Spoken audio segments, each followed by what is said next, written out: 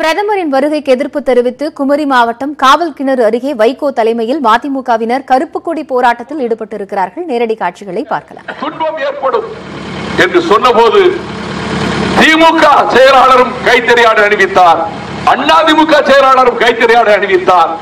பாட்டாளி மக்கள் கட்சி செயலாளரும் விடுதலை சிறுத்தைகள் கட்சி செயலாளரும் மார்க்சிஸ்ட் இந்திய கம்யூனிஸ்ட் கட்சி செயலாளர்களும் எல்லாவற்றையும் விட பாரதிய ஜனதா கட்சியினுடைய செயலாளர்களும் எனக்கு கைத்தறியாடு தமிழ்நாட்டு அரசியலில் நடக்காத அதிசயம். திமுக செயலாளர் அதிமுக செயலாளர் சேர்ந்து கைத்தறியாடு அணிவித்தது தமிழக அரசியலில் கிடையாது. ஒரு மாத காலம் குருவலாக போனேன் வருகிற ஆபத்தை தடுக்க வேண்டும் என்று சொல்லி இப்பொழுது மேகதாட்டுவுக்கு ஐயாயிரத்தி தொள்ளாயிரத்தி பன்னெண்டு கோடி ரூபாயிலே வேலை திட்டம் இப்பொழுது ஆரம்பிக்க போகிறார்கள். மத்திய சர்க்கார் வெளிப்படையாகவே அனுமதி கொடுத்து விட்டது.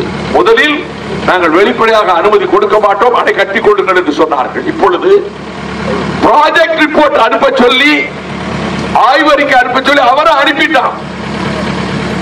நம்மை அழிப்பதுதான் நோக்கம். மொழி இனம் உணர்வு என்று பல்லாயிரக்கணக்கான ஆண்டுகளாக இந்தியாவிலே இருக்கிற இந்த திராவிட இயக்கம் மறந்திருக்கிற இந்த தமிழகம். திராவிட இயக்கம் மட்டும் அல்ல மறைமலடிகள் நாவலர் சோமசுந்தர பாரதியார் இப்படிப்பட்ட தமிழ் அறிஞர்கள் எல்லாம் ஊட்டி வளர்த்த உணர்வு இங்கே இருக்கிறது. அதங்கோட்டாசானும் தொல்காப்பியனும் உலவிய இந்த நாஞ்சில் மண்ணிலே இருந்து கொண்டு நான் மண்டாடி தமிழக மக்களுக்கு சொல்லுகிறேன் பேர் ஆபத்து வந்து விட்டது. இனி காப்பாற்ற முடியாது தமிழகத்தினுடைய சோழ வளநாட்டை. அதே போலத்தான் முல்லை பெரியார் பல ஆண்டுகளாக போராடினோம். பத்து வருடம் போராடினேன். கால்நடையாக நடந்து ஊர் ஊராக சென்றேன்.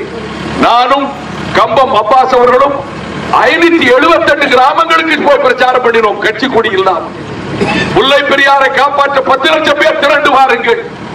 அணையை உடைக்க போகிறது கேரள அரசு. பெண்ணிக்கு கட்டிய அணையை கரிகாலன் கட்டிய கல்லணையை போல் வலுவான அணையை உடைக்க போகிறது என்று நான் பேசினேன். ஊர் ஊராக போய் பேசினேன். லட்சம் பத்து லட்சம் பேர் திரண்டார்கள். என்ன நடந்தது? சுப்ரீம் கோர்ட் குழு அமைத்தது. நம்முடைய ஜட்ஜும் இருந்தார் லட்சுமணன். கேரளா ஜட்ஜ் இருந்தார் தாமஸ். கடைசியில் என்ன ரிப்போர்ட் கொடுத்தாங்க? அணை வலுவாக இருக்கிறது. வெண்ணிக்கு கட்டிய அணை வலுவாக இருக்கிறது. ஆயிரம் வருஷம் ஆனாலும் பூகம்பமே வந்தாலும் இந்த அணை இடியாது என்று அறிக்கை கொடுத்தார்கள் சுப்ரீம் கோர்ட் என்ன சொன்னது? புதிய அணை கட்ட தேவையே கிடையாது. கட்ட அனுமதி கிடையாது என்று சொன்னது. கேரள அரசு போன வருடம் நாங்கள் புதிய அணை கேரளாவுக்குள்ளே கட்ட போகிறோம். கட்டிவிட்டு பெண்ணிக்கு அணையை உடைப்போம். அறிவித்திருக்கிறார்கள். இதில் ஒரு வார்த்தை நான் சொல்வது உண்மைக்கு மாறானது கிடையாது. சத்தியமான வார்த்தை. We will decommission the existing dam built by Benniquet இப்ப இருக்கிற அணையை டீகமிஷன் செயலிழக்க செய்வோம். அதுக்கு அர்த்தம் என்னன்னா உடைப்போம். இதற்கு ப்ராஜெக்ட் ரிப்போர்ட் கேட்ட நரேந்திர மோடி அவர்களே சுப்ரீம் கோர்ட் தீர்ப்பை குப்பையில் தூக்கி போட்டுவிட்டு